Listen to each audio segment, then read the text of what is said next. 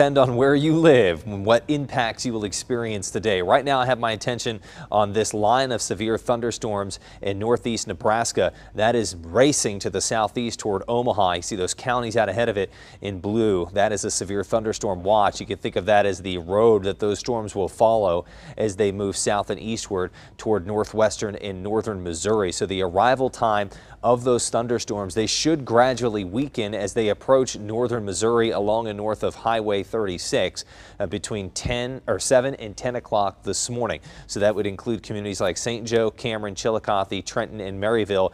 There is the potential that those storms still could produce some damaging wind and some hail. The other impact for this afternoon is the heat. And here in Kansas City and communities along and south of Interstate 70 under a heat advisory. Highs here will reach above 95 degrees. Heat index values could exceed 105.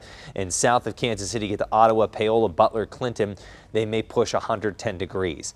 Then there's the potential of another round of storms for this evening. So a lot of impacts for today. 74 degrees as you head out your door. You can already feel that humidity. It's muggy. We've got our 12-hour forecast for today in Kansas City.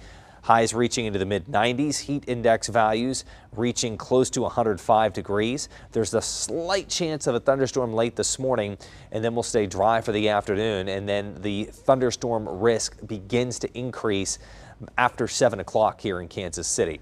Highs today north of the boundary that'll be created by the morning thunderstorms only reaching into the 80s to near 90 degrees there in St. Joe and Cameron. You get south of that boundary and you're into the mid 90s close to 100 degrees. So here's the first round of storms this morning moving into northern Missouri between 7 and 10 o'clock and then we're storm free for the most part through the rest of the day. We could still see a few thunderstorms across northern Missouri late this afternoon.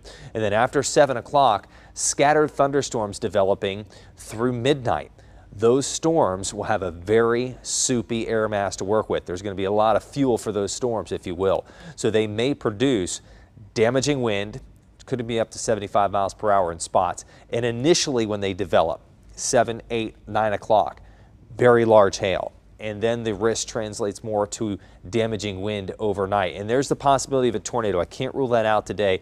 And it's a fairly large area under risk, but only a few communities within that risk area will experience thunderstorms or severe weather this evening. What you can do now is to check the forecast often through the day and make sure you have the KMBC app on your phone so you can receive those alerts at any time, anywhere. Thursday, we're storm free, 91 degrees. So we back off the excessive heat, but it's still going to be muggy through the end of the week. Thunderstorm chances for Friday and Sunday.